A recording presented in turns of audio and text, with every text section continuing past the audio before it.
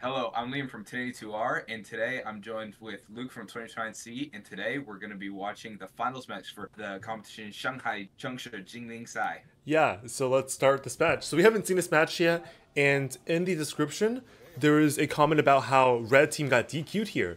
So, I mean, we'll see exactly how they get DQ'd.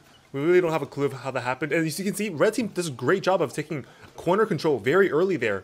Yeah, you see blue also fighting, but th- th- is that not the negative corner over there? That's... Oh wait, wait, what, what's going on there?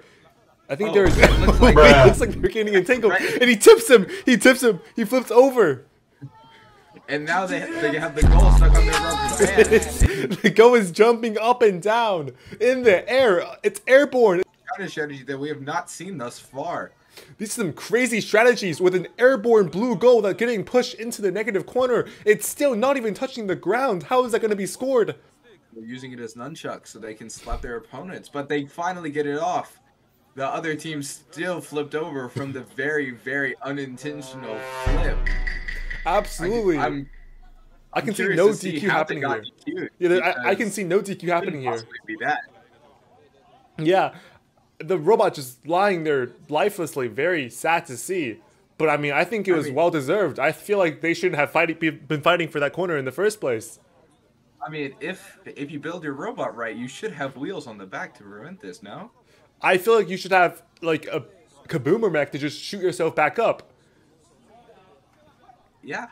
Yeah, I feel like I mean, even though he tipped him using a, a rubber band that was attached to his robot, I feel like there's, I mean, you shouldn't get DQ'd for that. That's just how the game works. If you. If you don't want to get flipped over by your rubber bands, don't have rubber bands. Maybe. that's true. Good match. What do you think? I think that's an amazing match, and we we may implement some form of way to hold the goal, such as the uh, that China mech that was able to float the goal. It makes it a lot harder to steal, just because of its bouncing nature. It's a lot harder to grab onto.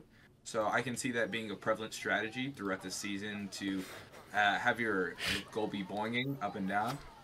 Yeah, absolutely. I mean, as you can see here, they lift their lift up, and their goal is higher than any any possible back clamp that can grab onto that. No one's gonna grab onto that goal. People are talking about having a really good uh, mechanical advantage, a pivot, or like a back clamp, right? But you just having your go float float in the air like this, there's no way anybody's gonna be able to grab onto that. You see how how fast that's moving?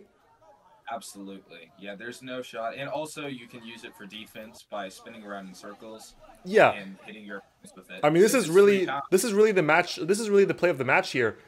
Do you see this right here? Yeah. And how how they how they go forward for a little bit to because they see they're about to fall, but then they go backwards and realize them falling might help them. Yeah. I mean, just really quick decision making here on red team. Just making sure that to, I mean, flip them just like how they would at, at Worlds. So beware of that strategy at Worlds, guys. Absolutely. Don't and get that's flipped. all for today.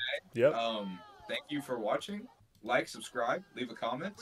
Yeah. Post notifications on. Sauce.